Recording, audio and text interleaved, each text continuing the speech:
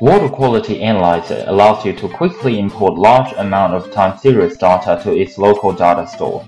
Data is organized in a hierarchy of project, set, and time series. The import wizard will guide you through the entire import process.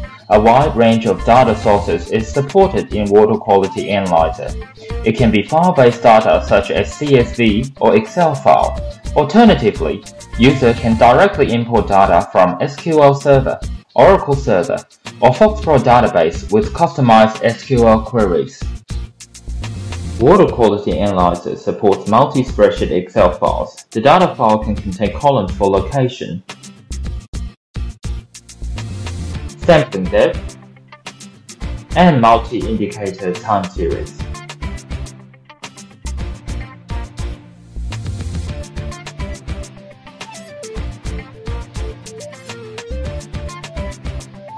The column configurations can be stored as templates for easy recall in future.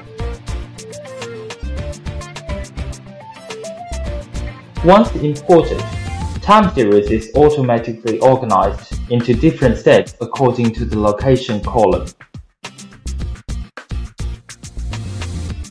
You can simply double-click on the name of the time series to plot the data as XY or line chart thanks to the advanced visualization feature in Water Quality Analyzer. Multiple time series can be plotted on the same chart with shared time axis for easy comparison. The chart in Water Quality Analyzer supports zooming, panning, and multiple selection.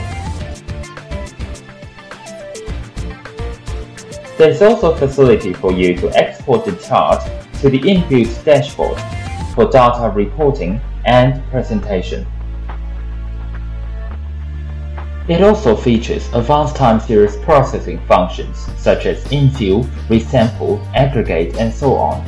The transform function even allows you to perform mathematical and logical operations on the time series data.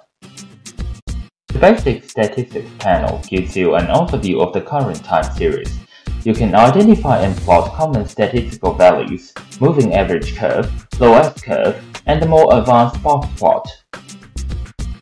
Water Quality Analyzer also interoperates with other software. For example, you can simply copy selected data points in Water Quality Analyzer and paste them into Excel as nicely formatted numbers. And this works in the reverse direction too.